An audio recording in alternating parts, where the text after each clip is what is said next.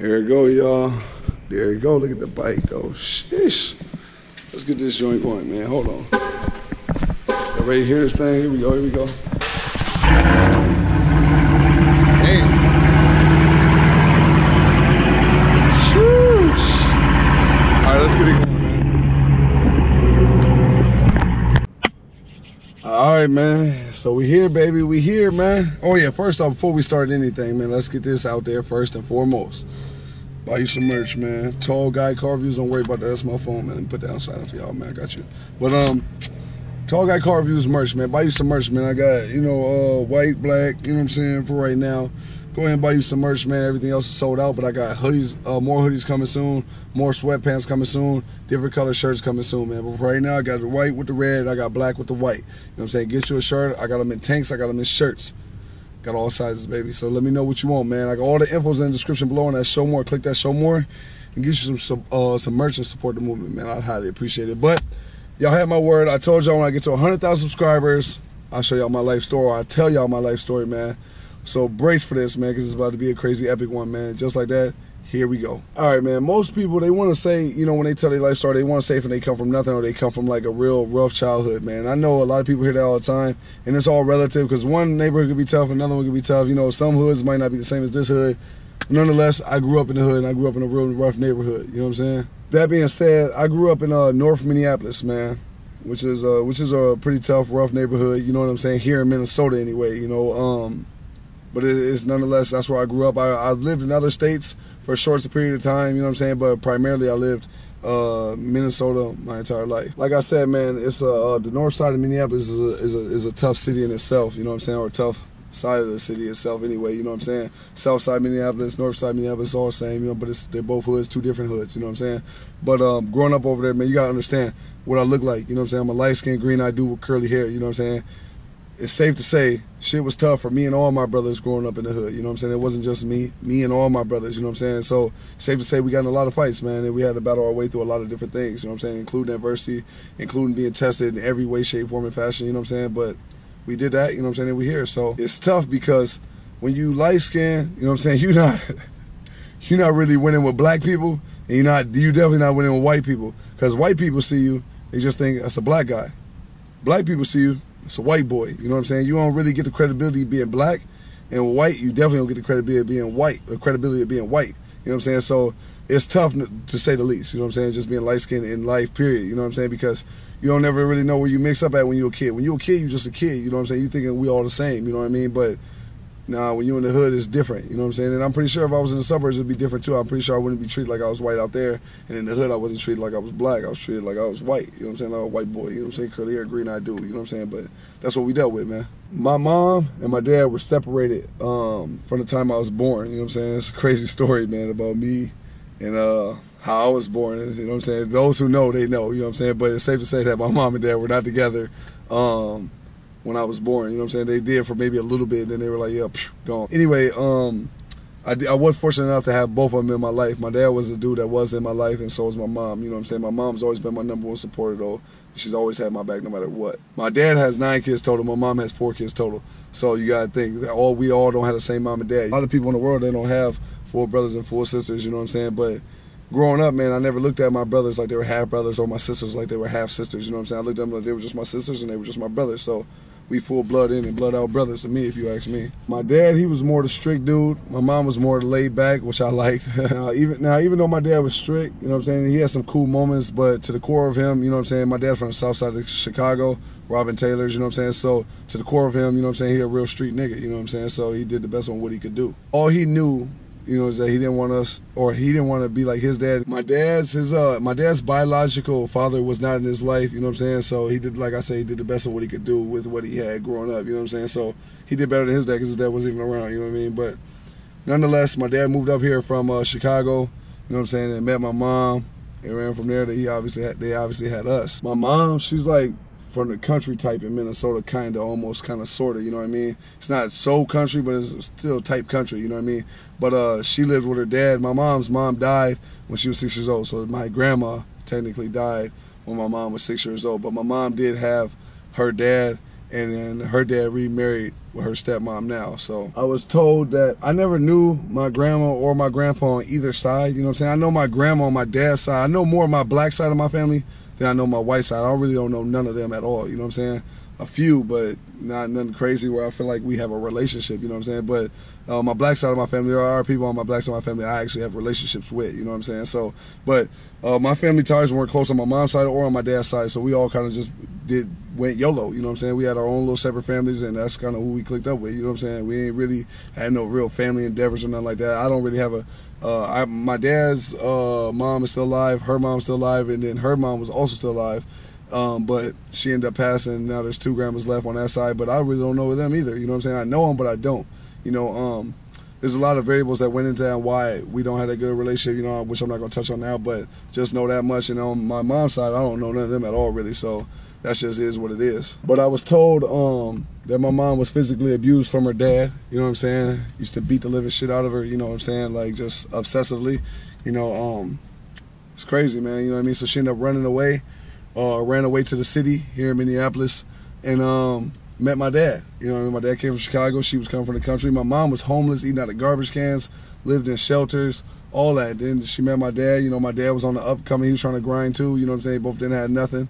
They both come from absolutely nothing. You know what I mean? And they came together and they tried to make something. And they did make something. They made uh, some babies. You know, and uh, now we here. But ultimately, um, my mom and my dad ended up separating because you know my dad just couldn't keep his dick in his pants. He always cheating. You know what I'm saying? And uh, my mom, you know what I'm saying, she just she wasn't having that, you know. And my dad, my dad used to physically abuse my mom to be all the way real with y'all too. My dad was a used to beat women, you know. It's my mom, you know what I'm saying. So it's just you know he come from a certain life, man. You know what I mean. He don't do that now, so that doesn't define who he is now. You know what I mean. But he did he used to do that, and uh, my mom went through that, man. After my mom and dad broke up, you know what I mean. My mom went on the date uh, went on to date a series of guys, you know what I mean, that not only physically kept abusing her, but mentally, you know, and emotionally kept abusing her as well. You know, there's been so many times as like as a kid that I can remember witnessing my mom literally getting beat, you know what I'm saying, and I couldn't do nothing about it. You know, there was uh, other times, you know, where I've seen my mom with black eyes, you know, broke ribs in the hospital, you know, this and that, fractured skulls and all sorts of crazy shit, man. To be all the way honest, man, uh, even though my mom was going through that, getting physically abused, my mom would never ever let nobody or no dude she ever talked to physically abuse us. And to be all the way true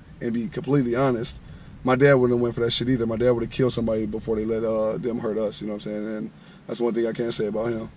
But enough about them, man. Let's get on to my life. That's what y'all tuned in for. Let me let me tell y'all a little something about my life now.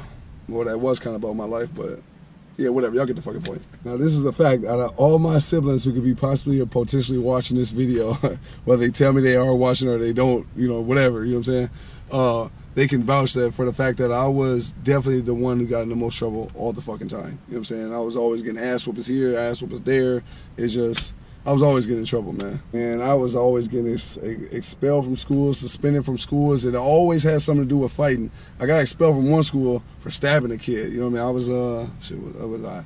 Sixth, seventh grade, or something like that, man. You know what I'm saying? But like I said, man, it's tough being light skinned, green eyed, curly head nigga in the hood. And I started, uh, I started smoking weed at an early age. And to be completely honest, man, I started smoking weed with my dad. I had to be like 11 or 12. You know what I'm saying? No more than 13. I was probably like 11 or 12 when I first started smoking weed. And in my dad's defense, you know what I'm saying? Uh, my dad, he grew up, like I say, he grew up in the south side of Chicago, man. He did much crazier stuff with his mom, and they, they trust me, he's got a crazy story, you know what I mean? But um, he knew we wanted to smoke weed. He knew we was going to get into all them kind of things. So what my dad was, he did, he took a different angle and a different approach. Instead of, you know, doing what most people do, going to the DARE program and I dare you not to do drugs. My dad was like, I know you're going to do it. And he know we wanted to do it. You know what I'm saying? He just was like, you know, I'd rather y'all do it with me in a safe environment and try it in a safe environment, not to say you rock with it or you don't. You know what I'm saying? But I'd rather you try it with me than to go try it with somebody else and they got laced PCP or some laced up in the drug. You know what I'm saying? It just, it made sense, you know what I mean? But I know a lot of people that's probably like, what the fuck was he thinking, you know? But made sense, man. If you ain't been in his position, then you can't really judge him. Now I know that's a little bit off topic, but even through all the suspensions, the being expelled from schools, the smoking the weed, all that, excuse me, I still managed to somehow to make it to high school. Now, when I was in high school, did I actually go to high school? No. You know, I was in high school, but I didn't actually go to uh, go to class. You know, that's what I meant to say. Um, I mean, I was if I was if I wasn't uh, in class, I was wandering the halls. I would during this is my freshman year, my only year of high school, and then after that, I would you know I'd wander you know I wander the halls, uh, be out there uh, leaving, going on lunch break. When like the seniors get to go on lunch, I would just leave and not come back. I'd go home. You know what I'm saying? All that good stuff. Or I was either uh, getting into fights and being suspended. It was was one or two. I used to have truancy, calling my mom, all sorts of crazy stuff, man. I just was not with high school. I was not a popular kid. I did not have fresh gear. I was like I was a nobody in high school, absolute nobody. And the thing was though, I wasn't tall, athletic. I wasn't nothing of what y'all see today. You know what I'm saying? So you got to understand. I used to steal my oldest brother's shoes to try to wear them and look fresh because I was I was poor. I ain't have I ain't had no dope ass shoes. I ain't had no dope ass outfits. And I think high school is made for people who have money. You know what I'm saying? Like who have the nice shoes, who have the newest of the new clothes, and you know the new haircuts, whatever. You know what I'm saying? I didn't I didn't get to I wasn't privileged enough to have all that. So high school didn't work out well for me at all. I was not uh, popular and high school just I don't think high school is a great place to be, man. If you ain't, I wouldn't know I wouldn't bully or no shit like that now. You know what I'm saying? But it's just man, you gotta you gotta be a certain you gotta be following trends in high school to be in them popular crowds and all that. And I couldn't do that, so I didn't. I just ultimately didn't just like it together. You know, I didn't like it all together. Ultimately, I just end up saying fuck school. You know what I'm saying? I, I didn't like it. I I wasn't fitting in the crowds. I wasn't tall. I wasn't who I am today. You know, I was actually like shorter, scrawny. You know what I'm saying? I didn't have. I ain't look nothing like how I look right now. I look something like the Captain Phillip dude. You know what I mean? I am the captain now. I look more like him. You know what I mean? At uh, at that time, so it's just safe to say it just wasn't a place for me, man. You know, but um, ultimately I did end up saying just forget school altogether.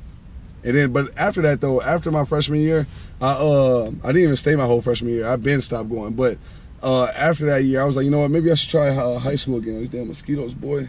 Um, I, I, let me try high school again. I ended up trying alternative schools and all that stuff. You know what I'm saying? But ultimately, I just said forget it and just got in the streets. After I made that decision, man, it was just a downward spiral from there, man. It just it got ugly and more ugly, you know. And then once I started getting in the streets, man, I started stealing stuff early at a young age, man. It was just all bad. what I mean by that is, man, before you knew it, I was over north. Well, I lived over north anyway, but I was over. I lived in the low ends, I lived in the mids, I lived in the highs, I lived everywhere over north that you could think about, man. Um, but after that, man, I found myself on the corner. You know, we used to have a store called Snow Foods. I used to be right in front of Snow Foods, selling nickel and dime bags of weed, fighting all the time. You know, it was, I even tried selling crack at one point in time. One of the guys I knew, you know what I'm saying, he uh he owed me some money for weed and um I could he didn't have the money for the weed or the weed. So, you know, that I loaned him. So he had some crack, so he gave me two little 40 uh two little 40 crack pills, you know what I'm saying? And uh, I don't know what you want to call it, but whatever. He gave me those. Man, he put them in a little matchbox. Man, I had that matchbox in my car for like a week. I was so paranoid to move that shit. I felt like every every cop I drove by knew I had crack in the car. I was I was paranoid as hell for that. You know what I mean? Um, I'm gonna keep all rules. I ain't gonna act like I was Pablo Escobar here selling. No, I was nickel and diamond with weed and with the crack. You know what I'm saying? I just had them little two rocks. It took me the longest ever to sell. I ended up selling it to a crackhead, man. I forget dude name, but um, for a, a, bag full of coins, man. It was I, mean, I was brought that shit to a Walgreens or whatever it was at the time and poured it in there, and they counted on my change and they got the cash out, man. So safe to say I never sold crack again after that though. like I said, man, I'm not gonna glamorize the life I've lived or nothing like that. I definitely ain't gonna glamorize selling no drugs. You know what I'm saying? Because it, that that shit wasn't worth it at all to me. You know what I mean? Um, but I was never a big drug dealer. You know, the most weed I've ever bought at one time was either a QP or half a pound, somewhere around there. You know what I mean? Uh, or somewhere in between. But that was as big as it got. QP to half a pound. You know what I mean? I can't remember exact numbers, but and then I would literally nickel and dime the whole damn thing to maximize my profit. You know what I mean? And as far as crack, I never sold that again after that whole situation. Like I said, man, I'm gonna keep it all the way true with y'all. I had aspirations when I was selling drugs, weed, and like the little two crack pills. I had aspirations to be a much bigger drug dealer than what I was. I would see like the dope boys in our hood, man. Uh, they be living, man. Had the big ass, you know, the cold old school whips with the with the big stupid chunky rims with the bangs in the back, fresh clothes, had the hose, they had the shoe, they had everything, man. That you that you want to have in the hood. You know what I mean? They had that, so I did have aspirations. When I put my mind to something, I give it everything I got. Drug dealing was no different. I gave it everything I got. It was just it just took me a while to move up. You know what I mean? Like I started with an ounce, then went up two ounces, three ounces, then you know four ounces to make the QP. You know what I mean? So then uh, after the QP, it's just I just kept going a little bit, a little bit up. You know what I mean? But then one day when I was selling, I used to keep my re-up money in a, a shoebox in my trunk. You know what I mean? Because I was always trapping in and out of my car. So if I sold out of something real fast, I had to call up the plug. Hey man, I need to meet up with you right now grab it again, just in case I had some more shit to sell. So ultimately I was uh, selling out of Snow Foods one day, and then the jump out boys, we called them the police when they roll up in the van and they jump out the van for those who don't know. You know, they, they did that, boom, jumped out. They got me and a few other dudes I know, you know what I mean? Um, obviously they took my uh, I had my car keys. They see my car. They took my car. I had a Cutlass Ciera at the time. They took that Cutlass Ciera. They took the money out. Everything that was in the car, which was the money, the scale, the weed, everything. They took that. So ultimately, I got busted, and um, yeah, it was just ugly. At that time, I was um 16. I think I was 15. No, 16. I was 16 years old, and uh, so they arrested me, booked me, and then let me go. You know what I'm saying? And then uh, my mom picked me up from there. She still talks about that to this day. She was man, she was pissed. but like I said, man, after that, it was safe to say that my drug dealing days were over. Not because I got arrested or I was scared. It was over because, like I just told you, it took me so long to move up from just like you know half ounce to an ounce to all the way to a QP, half pound, whatever. It took it took me a long time to move up there. You know what I'm saying? After nickel and diamond, everything. You know what I'm saying? So trying to make the, the bag look chunky, stuffing it in, bending it around, trying to make it look like one big plump little nickel or dime. You know, trying to. It's a lot of man hours you got to put into selling weed and drugs and all that stuff, man. And then I hate when people glamorize it because they ain't all it's cracked up to be, man. You got to be really doing a lot to really maximize a lot of profit, you know. But um, like I said, man, the, the drug dealing days were over after that, man. Because it was just it's just too hard, you know what I'm saying, to go from ground zero to start it back up. Like I was just like, no, it's not even worth it because at any point in time it can end. So let me try my uh, talents at a real job. So then what I did was I started working at places like uh, my first job I ever had was working. Um, I was what I was working at the YWCA. I was a daycare for little kids, you know what I mean? That was cool. We got like $300 every two weeks, you know what I'm saying? It was nothing, but it was something, you know what I'm saying? It's better than nothing, you know what I mean? Then after that, I got a job at Arby's, and I worked at Culver's, I worked at Menards, I worked at Marshall's retail store, I worked at Subway. Um, what else am I missing? I worked some other places too, man. But, oh yeah, I worked at Wendy's. did I say Culver's? I did. Did I say that? Uh, Man, I, I, worked at a bunch of damn places, man. It's, it's, it's, I can't remember all of them off the top of my head, man. But ultimately, it was. Uh, it's funny because even when I was working those jobs, I was never 100% legal because I was always stealing from every job I ever worked at in some form or fashion, except for the YWCA with the kids. I never stole nothing from there. Um, but all the other jobs, man, I stole from them jobs in one way, form, or fashion. Man, and I'm gonna break. I'm gonna break it down for y'all, man. I'm gonna tell y'all what I did at every last one of these jobs, man. At Arby's. I stole cash out of the register. I would swipe a card, you know what I'm saying, take the receipt. If it was a, over X amount of dollars, you only have to sign. So I would take that, boom, take out some cash. Every day I probably made $300 every day doing that, you know what I'm saying? And I, I was just dumb because ultimately I ended up getting caught because I was overcharging the people for these fast food. So people were calling in from their bank statements saying, hey, I ain't spent $40, I only spent 20 dumb, world dumb criminal. So it's safe to say ultimately I ended up getting fired from Arby's for sure. But then after that, uh, I got hired and fired by my uncle Ricardo, man. Uh, I was working at Culver's.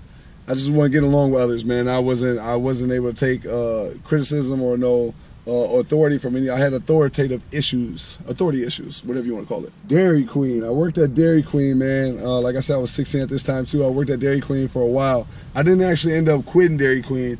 Uh, I mean, I didn't end up getting fired by Dairy Queen. I actually ended up quitting uh, because I got a job at uh, Marshall's retail store. But when I was at Dairy Queen, I used to steal, man, I used to steal dilly bars, parfaits, blizzards, chicken tenders, you know, just food and ice cream, man. Just trying to eat, baby. Now, when I started working at Marshall's retail store, boy, I used to rob them blind, man. That was that was crazy.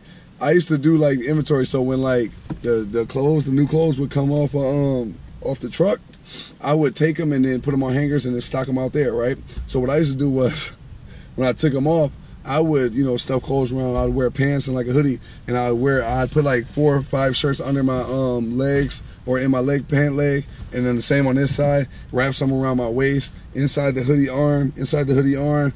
Wear like four or five shirts, and then put my hoodie back on. You know what I'm saying? Then you would never be able to tell the difference. And then um, when I go on break, I would just go out there and unload, put all the clothes in my trunk, and then I go back in, do it again. I'll probably get like a 30 minute break and a 15 minute break because I used to work long days there.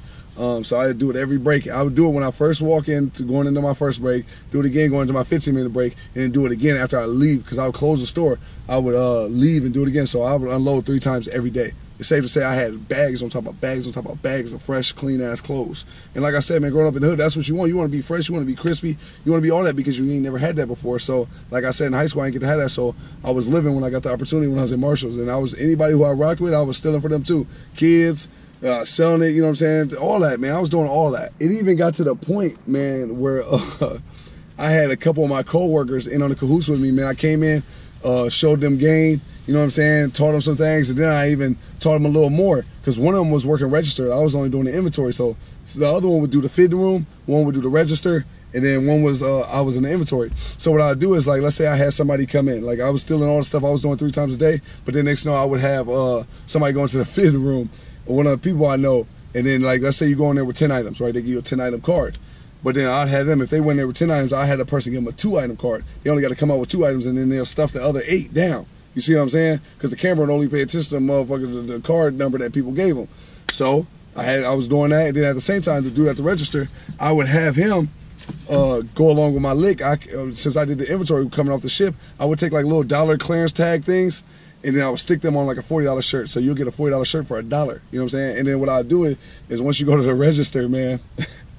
you would have like let's say if you were spending hundred dollars, right? You have a hundred in all one. So if the camera was looking, it looked like a lot of money when you giving it to them, but it ain't really a lot. You know what I mean? Just it was a lot of finagles I was doing, man, 100%. Like I said, man, I ain't glamorizing, you know what I'm saying, stealing and doing all that stupid stuff. I can laugh at it now, man, because it was just dumb, you know what I'm saying? But I couldn't laugh at it then when I was getting caught and all that, going to jail and all that stupid stuff, you know what I'm saying? But ultimately, I ended up getting caught. I did get fired, you know, um, and so did the other two people, you know, they ended up catching all of us, you know. But um, the thing was, man, after that, uh, I ended up getting a job at Menards, the, you know, like Home Depot type store, Menards.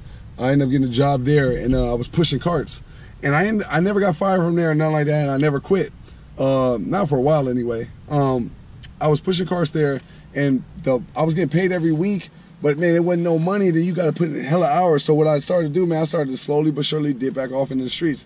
And then next time, at this time, I started burglarizing homes and all that. So I would literally go from working an eight nine hour day to burglarizing a home, or working an eight nine hour day and having like a 30 minute break in between rob a home somewhere near there, and then you know what I'm saying, then go back to work. It was it was crazy, man. After Menards, I ended up getting a job at Subway. Subway, like I said, man, when y'all envisioning all this, don't envision a tall ass dude doing all this because I wasn't tall then. Um, I ended up getting a job at Subway, and then uh, by then I had escalated to robbing people. Now I was robbing people. The first time we robbed somebody, it was with like a like a fake gun. And you know how some guns be like clear, but it has like them little chrome pieces on it that make it look real. So what we did was we taped that, and then we spray painted the race black, took off the little piece in the front, and had a big like chamber hole type look. It was, it was risky business, but like I said, man, I wasn't robbing nobody. I wasn't robbing nobody in the hood or nothing like that to where it could like potentially get me shot or killed. So when I was robbing somebody with a fake gun, it wasn't nothing too crazy. You know what I mean? It was and it worked. You know what I mean? So from there, it was just it just escalated more and more and more and more. And then ultimately, man, we we ended up uh, transitioning to uh, BB um, replica guns. You know what I'm saying? Like you know the ones that being sell well, Walmart look just like a real pistol. It's just you got a CO2 cartridge. We end up eventually moving up to those, robbing people with those. And then after that, we transitioned to real guns. And then luckily, right after that, you know what I'm saying, we got caught like literally right when the real guns started coming into equation we got caught. Now, during our robberies and all the little robbery escapades, you know, uh, we never robbed no children. We never robbed no women or none crazy like that. You know what I mean? We never robbed nobody in the hood either. You know what I mean? So we never robbed anywhere close to home, and we never robbed no women and children. Like I said, that just wouldn't have been cool. It ain't it ain't cool to rob nobody. You know what I'm saying? But you don't rob no women and children, and you definitely don't rob nobody where you live at in the hood. We always um, rob businesses we started off robbing pizza men, you know what I mean, for the most part. We used to rob like regular people and other stuff like that, you know what I mean? Uh, but then eventually we uh, led to pizza. It led us to pizza men because pizza men were just a, a, easy lick. I know it sounds stupid, you know what I mean? And looking back as as a grown man now, we were definitely the world's dumbest criminals, you know what I mean? Because it was it was dumb because we would never like for to, to do a robbery at school you're gonna get sent to prison for it. You might as well do something that's gonna give you like some good bread or at least it's worth it. We would literally rob people for $60 from a pizza man 20 $50 whatever they had on them so at most, I think the most we ever got from a pizza dude was like maybe 300 bucks, and we split that down the middle. So you're talking about 150. So it was it was dumb, and if we got lucky, we might get a pizza or something. You know what I mean? It's, I'm not joking at the robbing the people. It's just it's just stupid. I look back at it and I'm like, wow, we were some really dumb criminals. And if um if we were lucky, like I said, we would probably get like a, a, nice cell phone. At that time, they had like the new Razrs that came out, you know, the little thin ones that popped up, and then they had the sidekicks, you know, the little flip screen, like you know, I know that sounds outdated. A lot of people probably don't know what that is today if you're a younger person, but man, them was them was the top notch phones then. You know what I mean? So if you got one of them, uh, you were big time. You know what I mean? And that's when the cameras first started coming out on the phones and everything. This is you understand? This is like 2005, 2006. So no, 2006. Yeah, 2006. So it was yeah, it was crazy back then, man. It was crazy. But even though that was uh baby cash, we looked at like like we didn't have nothing, so we was just trying to get it by any means. No matter how many robberies it took, no matter how many licks it took, we was just figured out as we went. We just winged everything. There was no real planning or nothing. That's why I said we was the world live world's dumbest criminals. You know what I mean? You ever see watch that TV show World's Dumbest Criminals? We were that man. We were absolutely that. But I guess looking back at it, I think the way we looked at it was. You know, if you get enough of these little baby mook licks, you know what I'm saying, it eventually add up to something, you know what I'm saying, and then some turn into something more, you know. I guess that's how we looked at it. But it was dumb. I gotta say the part that we didn't think about the most through all the robberies that we did, we didn't think about how much this was going to traumatize the person we were robbing or how much this would mess it up for their family and how they would have to recoup from that and everything. We didn't think like that. We were just selfish, man. We were just two niggas from the hood trying to make it, you know what I mean? But it was we were just young and dumb and just trying to make it by any means necessary. You know what I mean? So safe to say, we were um we were eventually caught. One of the cell phones that we took, you know what I mean? This is when they first started coming out with tracking devices in cell phones. So if you lost your phone, like it's now, it's just regular. If you got a phone, you can track it if you lose it. You look on your iPhone and you find find my Apple phone or whatever that thing is. You know what I mean? Find your MacBook, whatever. That stuff had just started coming out there, so it was unheard of to have a phone where you could track it in case you lost it. You know, so we didn't know that. Now researching things. Uh, one of the people that we robbed literally uh, got their phone tracked. A SWAT team busting our house, busted my house. They got located and tracked to my house. Um, they, a SWAT team busting the house around 8, 9 a.m., something like that. Uh, super dumb early. It was like February 2007. They busted the house, arrested everybody. Uh, me, my brothers, um, even they even took my little two-year-old niece at the time. My, you know, my niece Tanaya, she's uh 12 years old now. She'll be 13. But they even busting the house. They got this beef flying around, man. What the Yeah, they even busting the house and they even took her as well. So they didn't know who was guilty, who was innocent. They just took They just rounded up everybody, herded them up, and took everybody. I'm telling y'all, man. If y'all ever seen that movie SWAT, how they busting them houses, man, that's exactly how they busting your house. No lie. They literally came in about 20 deep beams, big AKs, all that crazy stuff, man. Shields. They was they was strapped up and ready for war when they broke up into the house. I ain't gonna lie to you. Now I'm gonna be all the way real with y'all, man. I'm gonna keep it all the way trill. I'm not gonna sit here and pretend like, even though I grew up in the hood, I'm not gonna sit here and pretend like it was just in me to be doing all this stuff. It was something that developed over time and time and time of being in the hood. So if you're a smart person and you surround yourself around dummies, you know what I'm saying? Not to call people in the hood dummies, but if you're smart and you surround yourself around dummies, you're eventually gonna start to do some dumb stuff. You know what I'm saying? Me being who I am, I had a good upbringing. I had, I had, you know, even though we lived in the hood, my mom had morals, my dad had morals, and they were both in my life. You know what I mean? They were both telling me not to they, uh, not to do that kind of stuff in my life. You know what I'm saying? But man, when you're in the hood, man, the, the bad overwhelms the good. You know what I'm saying? So it eventually turned into what I became. You know what I mean? And um, I started doing it and robbing people, and it just became what it was. But I'm not gonna lie to y'all, man. I was I wasn't educated with the streets like I should have been hopping into something like that. You know what I mean? I didn't. I really didn't know what I was getting to. Like I knew if I got caught, you know what I mean, I could do some time potentially, some in the county. I didn't think it was gonna be like no prison time. Like I said, man, growing up in the hood, man, you either like a basketball player or some kind of athlete or you know what I'm saying, you like a school person. You know what I'm saying? There's really no in between. You know what I'm saying? Or you was in them streets. And so I wasn't in school. I wasn't school smart, and I definitely wasn't no athlete. So it was only one other option. I looked at like I got to be in these streets if I really want to come up. I can't do it by working a job because this ain't this ain't paying nothing, and I'm putting in man overtime and hours and all that. This ain't this ain't cutting it. This ain't cutting it. You know what I'm saying? So I got in the streets, and then so even though that wasn't something I necessarily wanted to do, it was something I feel like I had to do. You know what I'm saying? And ultimately end up costing me some years in prison of my life. And you got to understand this time I'm 16, 17 years old. I ain't even 18 yet, so I'm feeling like I got all the answers. You know what I'm saying? Oh, this happened. Oh, okay, I can do this. Or that happened. I had an answer for everything. You know what I'm saying? Even though I really didn't, I would I would pretend like I had an answer for everything. You know what I mean? Because nobody tell me nothing. So led to my demise. So now shit's getting real. They got my brothers and they took my niece and we all locked up. They ultimately ended up doing their research, found out it was me doing the robberies and they let all of them go. Now, three days later, the investigator come talks to me. I stick with my, I'm like, man, you know, I had three days to sit there and say, I ain't do this, I ain't do that. I'm, i got a game plan in my head. And then uh, when they come in there and talk to me, they didn't have nothing on me other than people, like some real people saying it was him, it was him, it was him. You know, that's all they had. You know, but other than that, they had nothing. You know what I mean? They had people saying like, because you know, dude couldn't tell it was me or whatever. There was no eyewitness or nothing like that. They had a description of the car, which fit the description of my car. You know, um, they found the phone, obviously. They found uh, the replica guns and all that at my crib. um, you know, stuff like that. But not nothing like I could. I probably could have beat it. You know what I'm saying? But I had a few other people pointing at me. I probably would have got subpoenaed. You know, to uh, come point the finger at me in court or was they would have went to jail. So they would have definitely. You know, pointed the finger, you know, but um, that's all they had. Now I'm gonna be all the way true with y'all, man. There was recordings. I ain't gonna say who the recordings was from, but I, there were some recordings, man. When I talked to investigators, like, "Oh, you didn't do it, huh? Oh, you trying to stick to that story?" Boom, played that button. You know, oh, state your name. Boom, they state their name. They got a statement another person state their name, got a statement. You know what I'm saying? So it was out there. So you know, like I said, I wasn't street smart and I wasn't school smart. I was uneducated in both. So you know, I'm thinking like I know what to do, but I really didn't know what to do, man. And then they they was like, hey man, you might as well go ahead and try to save face.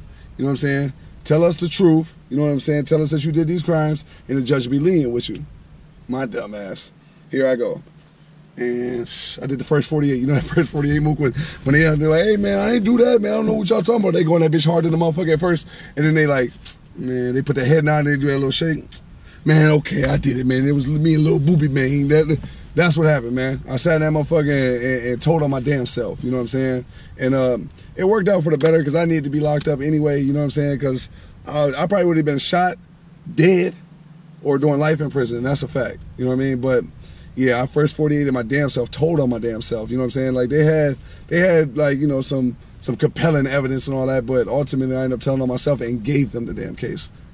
Dummy. Long story short, man, I was sentenced to pretty much six years, and I did four years. I went in, uh, I got locked up initially uh, February 2007, and then I got out of prison February 22nd, 2011. So total of four years, man. But I ended up getting real tall when I was in prison. You know what I mean? Um, my little brother, my little brother used to come see me, man. Derry, y'all seen him in my other videos with the dress, and then he cut his hair, and then he got married and all that.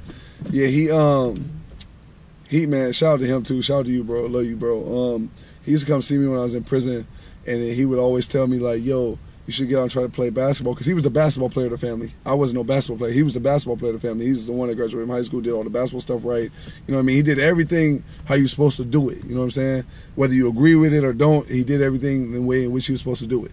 So um, he did that, and so he was like, "Bro, you should go try to play basketball." There's a lot of tall people that suck out here, and they making it far with basketball. And I don't think you'll suck. First, I'm like, "Fuck no," you know what I'm saying? I basketball player. And then go into play basketball in college, you gotta go to school. I never even went to school. I did a year in high school and I dropped out. I mean, I don't know how to do that stuff. But then I ended up going to the hole, man. I got into another fight. I went to the hole and I was sitting my whole time in the hole, man. I was sitting a couple months and I was thinking like, damn, well, what am I gonna do with my life, man? I'm just pacing back and forth with myself, thinking to myself, what am I gonna do with my life, man? You know what I'm saying? I don't want to come back here no more. You know what I'm saying? At this time, I still had like three years left to go. And I'm like, man, I don't know what I'm gonna do. So I thought about it, like, man, why not? I should try, at least try it. You know, what's the worst that happen? Me fail, so what? You know what I'm saying? Let me let me just try it. So ultimately, I got my GED. Like I said, when that conversation happened, I had about three years left. So you got to think it's about 2008 now. And then um, in 2009, I got my GED. February 2009, I got my GED. So about two years into my sentence, I got my GED.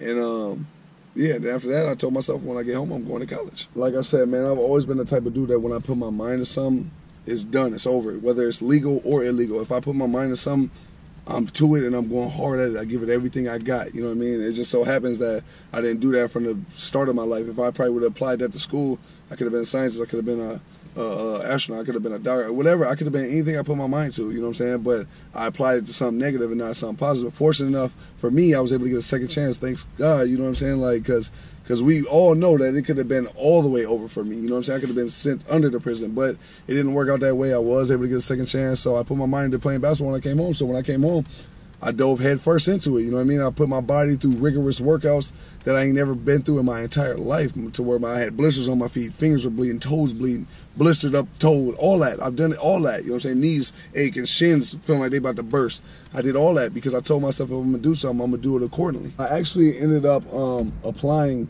to a college while I was in prison. My last three months, I applied to a college, a D3 community college out here. I ain't even gonna say the name because I don't want to give them no kind of credit for what I've done in my life. You know what I'm saying? I don't rock with none of the coaches or none of them. You know what I'm saying? I don't like none of them. I never have. But when I went up there, you know, I gave them a fair shot. You know, I went up there and was like, hey, man, I got I applied to the school and I heard y'all had a basketball team. I'm looking to try out. You got to understand, I picked this school because I had the weakest basketball D3 community college team in Minnesota. So I went there and then they was like, okay, well, this is the tryout day. I went there, tried out, made the team. I wasn't very skilled from the beginning You know, but one thing that I did bring was that dog. I brought that dog. Nobody worked harder than me. I ain't let nobody beat me, no matter what. You know what I'm saying? I was going hard and giving it everything I had every single day. You know what I mean? Now my mentality wasn't there like it is today. You know what I'm saying? Like I didn't know like plays and I couldn't be a student of the game. I was still learning things. I would forget plays all the time, all sorts of crazy stuff. But I never would quit. I never, I never ever stopped battling. I never let nobody outwork me. Now this has to be said. I never started one single game there, even though I felt like I should have. Definitely felt like I should have because one thing I noticed, man, the entire school's history, they never got one person Division One. And I remember, I'll never forget this, man. The head coach, man, the assistant, they called me in their office. I ended up getting into a fight with one of my teammates, and um, they called me in their, in their office and they said, um, "Yo, what are your plans after this?" You know, and oh, just so y'all know, I whooped his ass. You know what I'm saying? Uh, what are your plans after this? Um, what you mean? What are my plans after this, man? I plan on going D1. They laughed at me in my face. They said, "You plan on going D1?" I said, "Like that? You plan on going D1?" I was like, yeah, bitch. You know what I'm saying? I plan on going D1. What you talking about? He's like, haha. Both of them laughed. Ha, good luck with that. I said, okay, thank you. I don't need no luck, though. I got God. I don't need no luck. You know what I'm saying? Like I said, I never started one game there, man. I knew they didn't get nobody anywhere. So I ended up meeting one of my best friends and my brother to this day, man. David Hicks the third. You know what I'm saying? Uh, go follow his uh, Instagram. It's UCI Do This. You know, U C Y I Do This. D I S. Go follow his Instagram, man. Um, anyway, uh, I ended up meeting him, man, one day playing basketball, trying to be one of, you know what I'm saying, one of my one of my best friends, you know, and uh, he ended up knowing somebody who made basketball highlights. And, they, and what I did was I took all my games from that year, put them all together, made a highlight. And then I went with his mom, Twyla. I went to, um, shout out to Twyla because I know she'll be watching all my videos. Um, I uh, went with his mom to the post office. And at this time, I was going through some things, so I was living with them. You know what I mean? And um, she went to the post office with me, and I literally mailed off like 60, 60 DVD highlights to every top national junior one, uh, junior college in all of the U.S. You know what I'm saying? 60 of them in uh, California, Texas, Florida, Connecticut, Maine. I sent them every damn where. In um, Kansas, everywhere. You know what I'm saying? And only two people hit me back, only two teams. One was Miami Dade Community College. Uh, they had a black head coach there, a real cool dude. I ain't talked to him much, but he didn't seem like he was really rocking with me.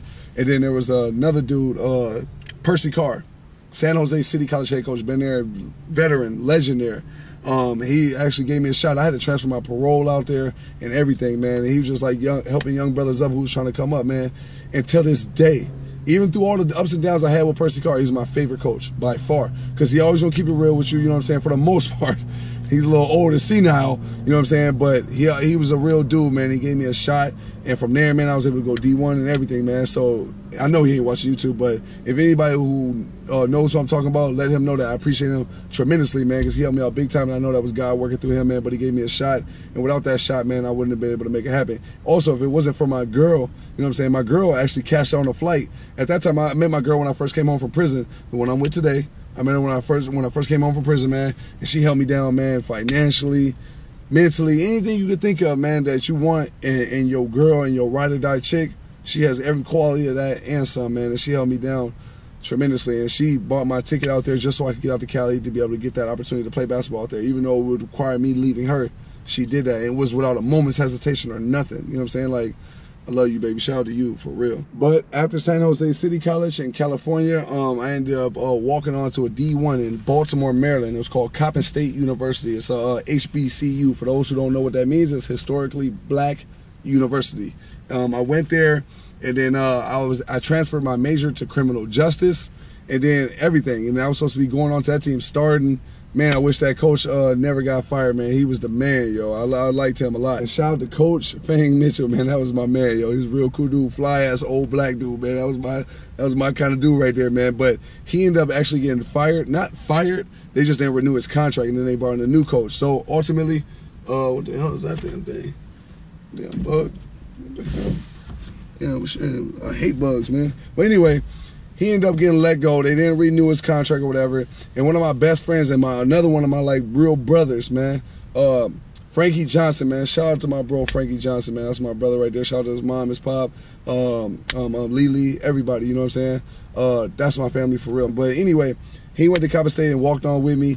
Coach got fired. We both went our separate ways. He went to Virginia. I went to Central Connecticut. And after Central Connecticut, I went to Central Connecticut State. Um, that's another low major D1. Um, I went there shit didn't work out well, man. First it started off good, but then it got real ugly. It went decently for me, you know what I'm saying. I've had some games where I did all right, and then I had some games where I didn't do nothing, you know what I'm saying. And with the with the opportunities I was given, I did great, you know what I'm saying. But like I, the coaches didn't never believed in me. The same thing I dealt with at that first college, I dealt with at the Division One college now. You understand? So it was man, it was, it was, the week. It was the weakest shit in life. I ain't gonna lie to y'all. I'm gonna be all the way real with y'all, man. It, it was it sucked. On the court, Central Connecticut was a fucking disaster. I should never pick that school. I should have went to Delaware State. But um, that's whatever. That's another story for another time. But um, off the court, it was I actually made some lifelong friends. Shout out to my guy Matt Mobley. You know what I'm saying? Uh, that's like my brother too. My brother Kyle Vinales. You know what I'm saying? They're my guys.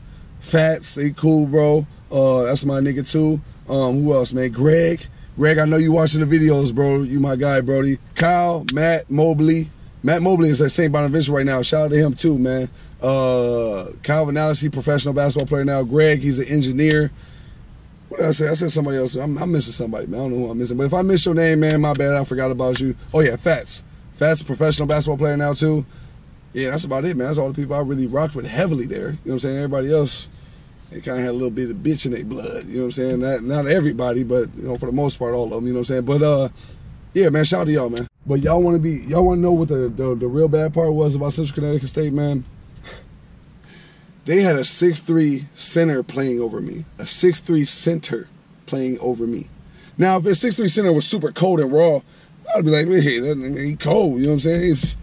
But he wasn't better than me, man. No shots at him. He know he is, but no shots at him. You know what I'm saying? I'm just saying I was better. And I am still better. You know what I'm saying? But the, the, the proof lies in the pudding, man. That's all I'm gonna say. But anyway, um, just in case one of them bitch ass motherfuckers watching from that school. But um, what I was gonna say, the second thing was the coach lied to me to get me to that school. He lied to me, gassed me up. You know, I got a jump shot. You know what I'm saying? He lying, oh, I'm gonna let you shoot all the jump shots. I'm gonna let you do this. I'm gonna let you do that. You gonna have the green. He's on that type of time with me. Lied to get me there, gassed me all the way up to the mook. Then I got there and my minutes was the most suspect. But anyway, man, after all that was said and done, that was my junior year of college. So now the dude who played over me graduated, he's out of there. So I'm like, okay, now I'm about to go home, and this is about to be my year. So I'm gonna go home. I'm putting overtime in the grind. Now, anybody who knows me knows that this was the most time I was in shape in my entire life. This is the best shape I've ever been in my entire life. I was in the gym two times minimum a day, three times a day max. You know what I'm saying? I was in the gym on the weights. I put on 20 pounds. I went crazy that summer.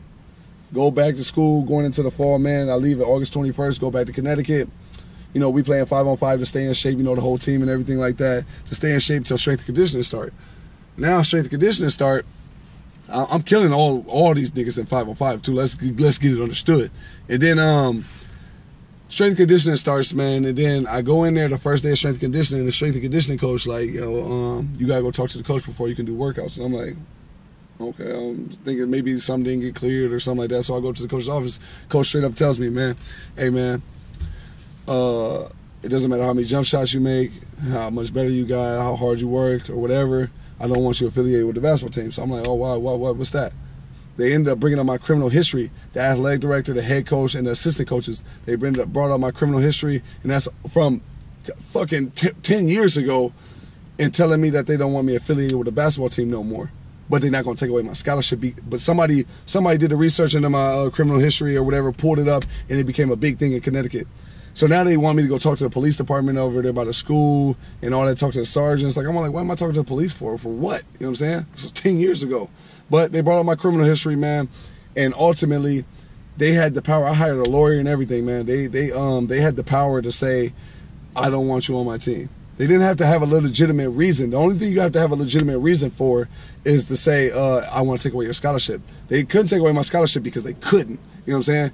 But it took away uh, the, the, right for me to play basketball with them because they can they can say who they want and who they don't want on their team. You know what I'm saying? But they can't take away the scholarship once you've already signed. They gotta have a legitimate reason. You got either had got in trouble or something. I ain't do none of that. There was no written complaints or written incidents with me or nothing like that. You know what I'm saying? So they ultimately did that bitch ass shit. and I didn't get to play my senior year. So I ain't gonna lie, that shit hurt big time. I was big time crushed. I'm gonna be real with y'all. It wasn't like no man. It was whatever. I bounced back.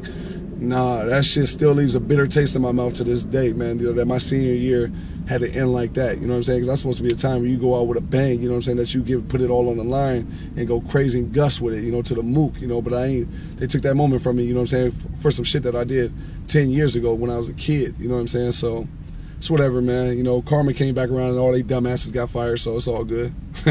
but seriously, it ain't it ain't it ain't my job to pass judgment, man. You know what I'm saying? Maybe they was going through something in their life that made them a bitch nigga. You know what I'm saying? Or you know, fuck ass people. You know what I'm saying? But it ain't it ain't my job, you know, to um to pass judgment on them. I'll leave that up to God, man. So they'll deal with their karma when time come. You know what I mean? Even though I was able to um keep my scholarship, y'all got to understand how fucking embarrassed I was. Like was just a 6'10 student walking around campus just going to class.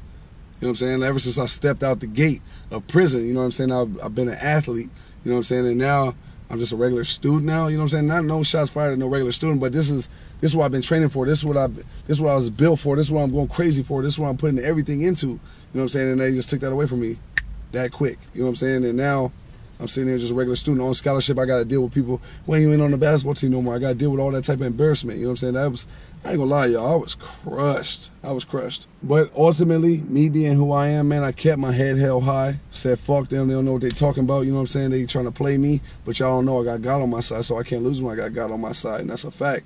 So after that, I ultimately ended up uh, graduating that year with a bachelor's degree in criminal justice. I went home immediately after, started working on my game, perfecting my craft, and I'm like, I'm about to go overseas and get this bag. You know what I'm saying? What they, what they, what, how they did me and how, how they played me, that doesn't define what kind of basketball player I am or who I am. You know what I'm saying? So I'm gonna go home and I'm gonna prove myself right first and foremost, and I'm gonna prove everybody else wrong in the process. You know what I'm saying? So I went home, was grinding, grinding, grinding, grinding. Met an agent by the name of Joe, real cool dude. Shout out to you, Joe, if you watching this, man. Um, and uh, he signed me to my first NBA contract, or not NBA. I wish he signed me to my first overseas contract. I had I had uh, offers from him in Spain, Portugal, uh, man, I man a, a, bunch of places. Man, I was even about to go to Africa at one point with my with my guy Kyle. We couldn't get that deal to fall through. Uh, Germany, and then uh, what was it I was saying? Oh yeah, and then South America and Central America. And uh, ultimately, I signed a, a, deal, a contract overseas, and then um, yeah, man, I was supposed to leave the next day. I was supposed to leave the next day after signing my contract, and I was in the gym training in preparation, you know, just to stay in shape for while I'm overseas or till I get overseas, you know what I mean, in preparation for it. And uh, yeah, man, I blew my whole damn knee out. I tore three things. I tore my ACL, my MCL, and my meniscus all at one time during that damn hop step. So yeah, it's safe to say my whole knee was blew out. But this is the funny part. I blew out my knee when I was in the gym with PJ. Y'all know PJ if y'all been in my channel for a long time. I was in the gym with PJ, man. Another professional basketball players play overseas, played China, played everywhere you can think of. And um, we were in the hospital. He takes me to the hospital after. I had no fucking health insurance. So I'm telling PJ, bro, I'm not trying to go to the hospital, bro. I know my knee is mangled, but I can't go to the hospital because I ain't got no health insurance. So I can't go. PJ forced me to go anyway. So now I'm still paying off that bill every month to this date because that dude forced me to go to the hospital when I knew I shouldn't went when I didn't have health insurance. But he convinced me that they would back pay. They did not back pay. So now I'm stuck with this bill that I'm paying every month. But anyway, after all that, I'm laughing uh, while I'm in um, the hospital with PJ. PJ said, "Bro, why you laughing, bro? This ain't funny." I just started laughing because I remember the last time I went through something like this, which ain't even close. What I went through last time with prison was way worse than this knee. This is just basketball. You know what I'm saying? I've never been passionate about basketball. Never watched basketball. Never played basketball in my life until I got out of prison. So I wasn't really passionate about basketball anyway. But like I said, if I'm gonna do something, I'm gonna put everything I got into it to be successful at it. If I'm gonna do something, I want to be the best at it. So that followed over with basketball. So fast forward to while I'm in this uh, emergency room with PJ and I'm laughing. I said, bro, the last time something like this happened, I remember I was in prison and my mom was always telling me son, something good gonna come from this. And I'm like, man, at that time I was thinking, what the hell good gonna come from this? I'm in prison for four years out of my life. You know what I'm saying? While I'm in here sitting still, the whole world is moving around and getting better, progressing. I'm just sitting in one spot. I ain't growing or nothing. You know what I'm saying? And now I'm in the hospital and I laugh because prison was the best and the worst thing that ever happened to me. You know what I'm saying? Because I would have never changed. I probably would have been dead or doing life in prison if it wasn't uh, for me going to prison for them four years. You know what I'm saying? It made me change my whole life around. So they, I was able to get a second chance. I was fortunate enough. So I look at this situation. I start laughing. PJ said, "Why you laughing, bro? It ain't funny, bro." I said, "Because, bro, I know God got something planned for me. He got some great plan for me, bro. Because I was supposed to leave tomorrow. He didn't even know I was supposed to leave tomorrow. He's like, "Damn, you supposed to leave tomorrow?" I said, "I'm supposed to leave tomorrow, bro. You know what I'm saying? To go play professional basketball. I was supposed to do that tomorrow." And I just blew it out. So I'm laughing because I know God got something planned for me because it wasn't meant for me to go over there. Y'all don't understand how hard it was to have that positive mindset when I just blew out my knee after signing the contract, after everything that happened to me in Connecticut. You know what I'm saying? But I believed in my faith of God, you know what I'm saying, and the plan that He has for me more than I did the plan I had planned for myself. And ultimately, I was right. God was right. I ended up getting the surgery. I ended up bouncing back right. I'm all the way 100% now. I can play 5 on 5. I can play one on one, but I would never in life because it's just, there's no point right now. You know what I'm saying? I'm not a basketball player. I'm not getting, it's not paying my bills. And uh, I was actually in preparation after I got the surgery, doing my physical therapy to get back overseas. But when I was doing my physical therapy and everything, man, like I said, I was crushed. I was crushed from what they did to me in Connecticut. I was crushed, you know what I'm saying, that my knee blew out, that I wasn't able to go overseas and prove myself right and everybody else wrong. It was just a lot of things that wasn't going my way, man. So I ultimately ended up pulling the trigger on getting this car at a time when I shouldn't have. And what I mean by that is there's so many things that weren't going my way, and I was just sick of things not going my way, man. So I, I, finally I used to watch YouTube for years when I was in college. Anybody who knows me and has been a real good friend of mine, they know that's all I was focused on was cars and YouTube and all that shit when I was playing basketball. I cared about that more than I cared about basketball, even though I gave it everything I had. You know what I mean? Um, that man, one day I was just man, something came over me where I was like, man, what am I waiting for about getting this Hellcat? I'm not in a great financial situation to get this Hellcat at that time, so I'm like, what am I waiting for, man? So many other things ain't going my way. Some got to go my way, man. You know what I'm saying? I'm tired of not having what I want. I'm tired of things not going my way fuck that, man. I'm pulling the trigger on getting this Hellcat today. Or and I didn't end up pulling it that day. I ended up getting it like a month later. I had to look for the right car, look for the right time in the specials and the leases. And it just so happened that a lease special came along my way. Uh, and it was only available for a week. And that was when they first started coming out with the um, Demon Talk and everything. So they were trying to get rid of the Hellcats that were in inventory. So they came out with a great lease special where it was like 600 a month or something like that.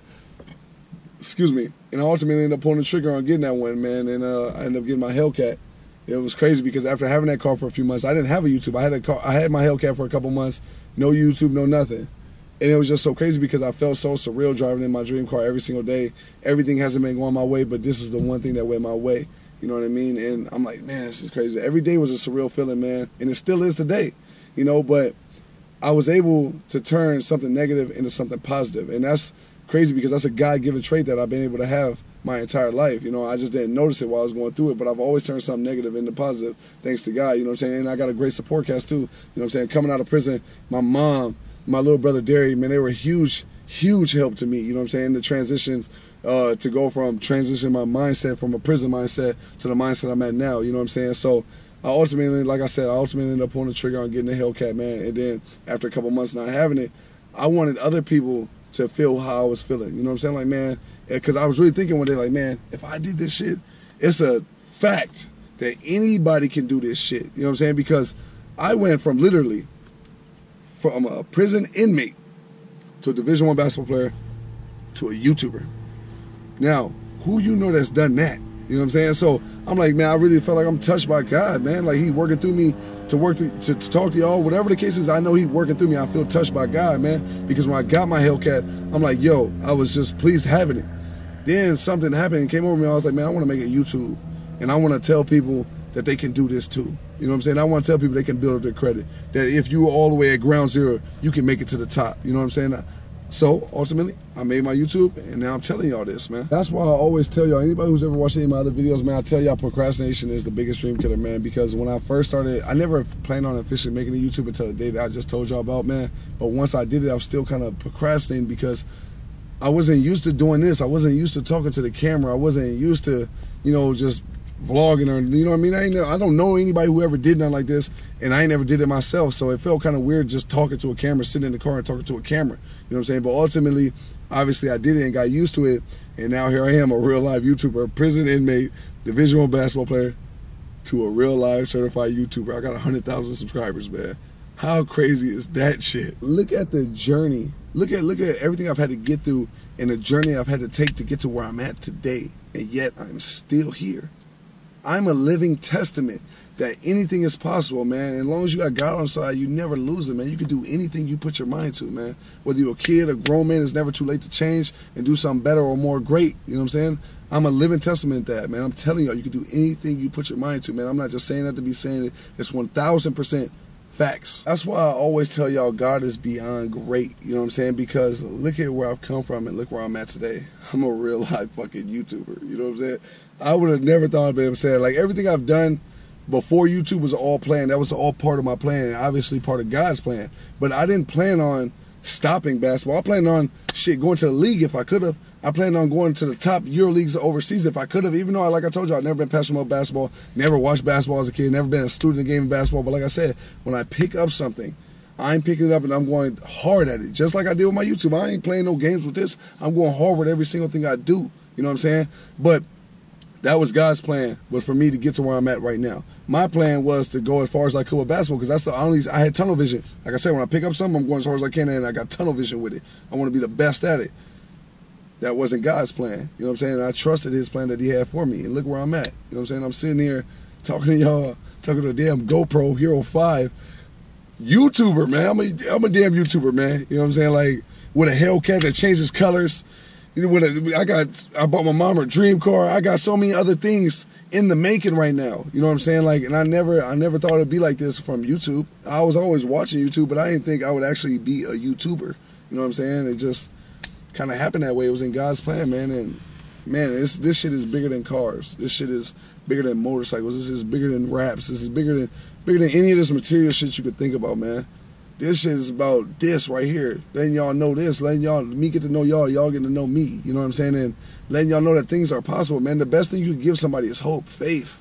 You know what I'm saying? Because that'll never die. You give somebody the right hope and the right faith, that'll never die, man. You know what I'm saying? You believe you can do anything. There's people hate that. People don't want to make you believe that you can do anything. You know what I'm saying? Because now you in a world. Now you can make it past them. I don't care about people making it past me. I want people. I want to bring people up here with me. You know what I'm saying? And for those who are at the top, I want you to grab my hand and try to pull me up. I'll pull them up. Let's let's pull each other up. You know what I'm saying? That's how I am. I want everybody to eat. If I'm eating, I want everybody to eat. I don't want to be eating steaks and then y'all eating McDonald's. I want everybody eating steaks. You know what I'm saying? I want everybody eating filet mignons and asparagus tips and what if, you know whatever else you could think of, caviar, whatever. You know what I'm saying? I ain't never even tried it, but still, like that's what I want. If I eat, I want everybody eat, man. You know what I'm saying? So that's why I always tell y'all, man, God is beyond great, man. I went from, like I told y'all, man, reiterate, reiterate, reiterate. I went from a prison inmate to a Division One basketball player, even though I never played basketball a day in my life. From a basketball player to a YouTuber, even though I never been in front of a camera in my entire life. Y'all tell me what's the odds of that, man? That's why when people ask me, like, how did you do what you did? I don't know. It's God, man. I did my part. I worked hard at everything I did. But I'd be lying here to sit here and say that I did it all by myself. I had a good support cast, man. My mom, my brother Derry. You know what I'm saying? Like, man, I'm serious, man. You know, my girl. You know what I'm saying? Like, I had a good support cast, man. A good support cast. And along my way of doing great things and working really hard at things, I met some real great, phenomenal people that really, phenomenal people that really helped me out. You know what I'm saying? They helped me bump up them levels. You know what I'm saying? It wasn't just me climbing up myself. I had people grab my hand along the way, pulling me up.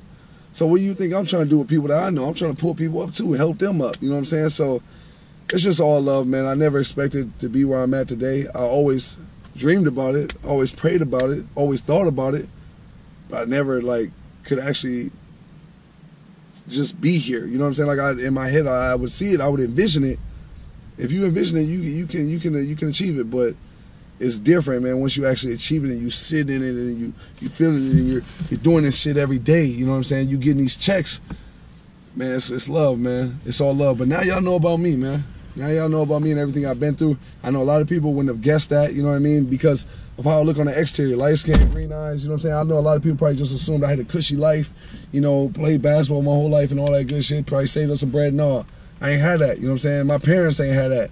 We was all poor. You know what I'm saying? We now poor is all relative. We ain't we weren't like in Cambodia poor. You know what I'm saying? Eating bugs and all that off the floor. I ain't saying that's what they doing, but we weren't doing that. What y'all see is what y'all get with me, man. Like I told y'all, the same way y'all gonna be in person, same way I am on camera, man. Ain't nothing gonna change about that, man. But now y'all know who I am. And that's why I say never judge a book by its cover because you would have never guessed. You know? But just like that, man, like I said, y'all know who I am.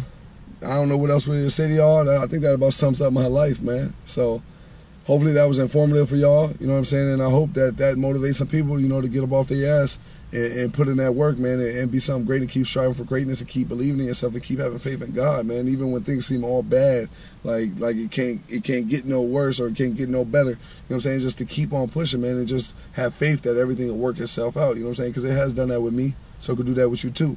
You know what I'm saying? I come from nothing and now I'm actually working up to something. You know, so just like that, man. This video's over. Hope y'all dig that.